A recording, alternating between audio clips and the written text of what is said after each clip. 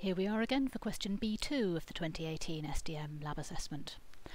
So, consider the following description of a business process, blah blah blah. In Papyrus, develop an activity diagram. To model this process, do not concern yourself with object flow, do not include swim lanes. Wherever the order of activities is not clear in the description, show them happening in parallel.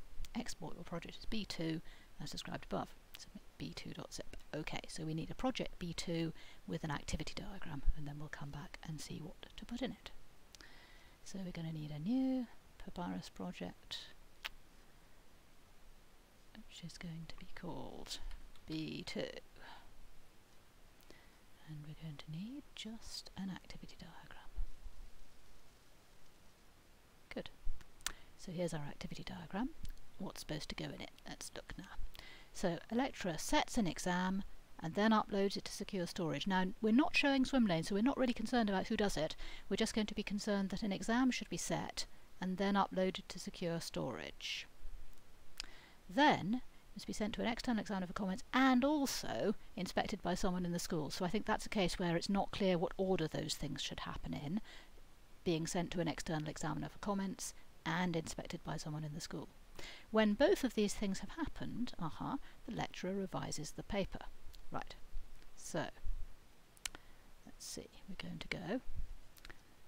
Uh, where are we? We are going to want. Where is our bog standard opaque action? There it is. Uh, so, uh, I'll probably want a start state, but let's worry about that later. Okay, so I'm going to say set exam. and then I'm going to say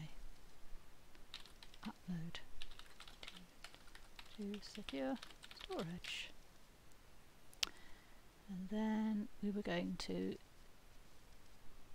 send to external comments. And we were also going to get somebody in the school to comment, right? Get comments someone. Ah! Okay, and after both of those things have happened, the lecturer is supposed to revise the paper.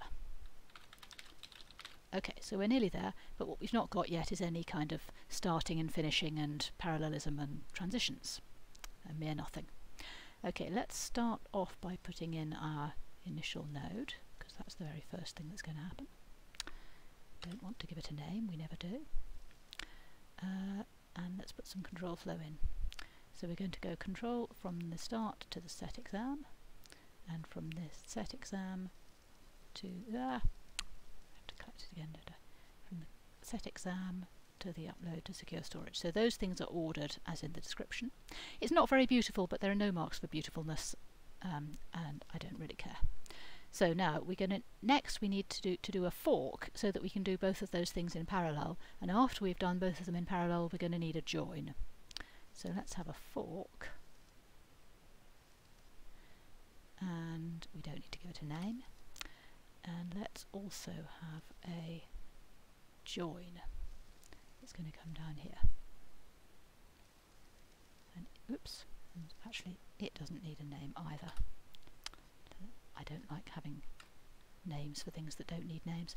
The reason why you always get this stuff is because in, U in UML every model element can have a name but very often it's conventional not to actually give them names. So now control flow from upload to secure storage to the fork and then from the fork to each of these things. And then from each of these things to the join. Ah, stop it.